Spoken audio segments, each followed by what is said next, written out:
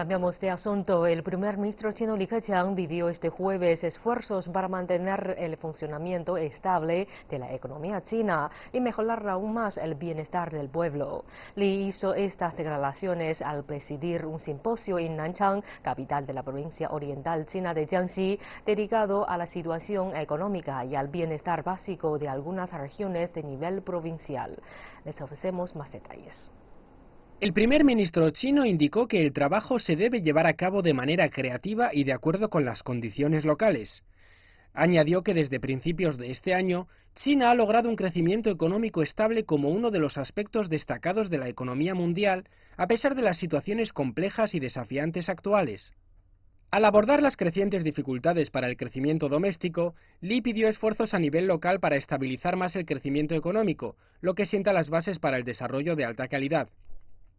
Li señaló que los gobiernos locales deben hacer un buen uso de las políticas nacionales, promover la inversión efectiva y la modernización industrial e introducir más medidas específicas para las empresas.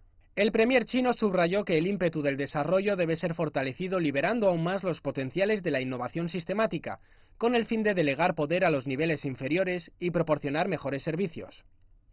También indicó que deben hacerse mayores esfuerzos para fortalecer nuevas fuerzas motrices y desplegar más el potencial del mercado chino, apoyando a las industrias manufactureras avanzadas y a las industrias de servicio emergentes. De acuerdo con Lee, las empresas también serán alentadas a mejorar el suministro y lanzamiento de nuevos productos o servicios.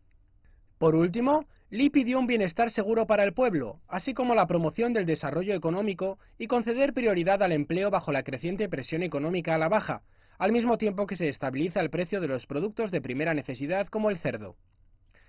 CGTN en español.